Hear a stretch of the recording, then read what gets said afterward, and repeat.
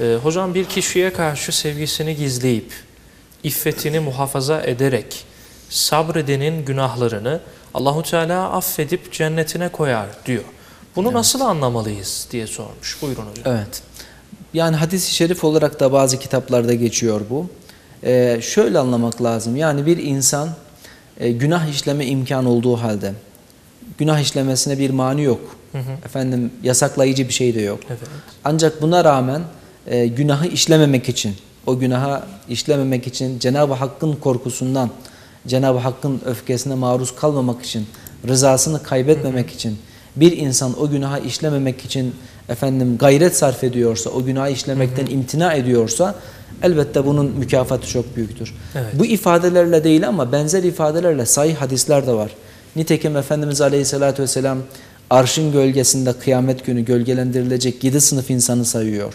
Hiçbir gölgenin olmadığı o günde Yüce Allah'ın himaye edeceği yedi sınıf insan, yedi grup insan.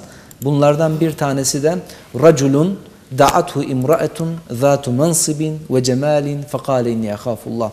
Öyle bir gençtir ki e, gayet güzel makamı mevkisi parası da olan bir hanım onu günah işlemeye davet ediyor, çağırıyor.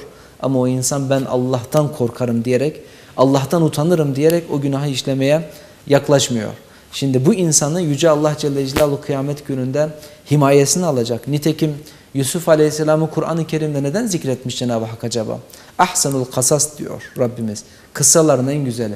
Bir, tabi pek çok hikmet var o surenin içerisinde. Onlardan bir tanesi de Rabbimiz iffetli olmanın, Allah'ın bir yasağını çiğnememek için gerekirse hapse ve zindana bile düşmenin e, nasıl bir yiğitlik olduğunu Yusuf Aleyhisselam'ın şahsında bize gösteriyor. Efendimiz Yusuf Aleyhisselam'ı da çağırdılar, günaha çağırdı. Ama Yusuf Aleyhisselam dedi ki ya Rabbi zindan, Rabbi sicnu ahabbu ileyye mimme yed'uneni ileyh. Ya Rabbi zindan onların beni davet ettiği şeyden daha iyidir benim için. Zindana gideyim ama ben senin yasakladığı bir, yasakladığın bir şeyi işlemeyeyim. Dolayısıyla bir Müslüman bir insan e, helaline her zaman Rabbimizin helal saydığı şeylerin peşinde olacak. Yani bir hanımefendiyi seviyorsa ona düşen elinden geldiği kadar helal dairede onu kendisine zevce etmek için, eş etmek için gayret sarf eder, çalışır. Ancak her zaman dünyada insan istedikleri olmuyor. Bazen insan birisini sevebiliyor. Hı hı. Ancak kısmet kendisine yar olmuyor, başkasına yar oluyor. Peki Müslümana düşen vazife nedir burada?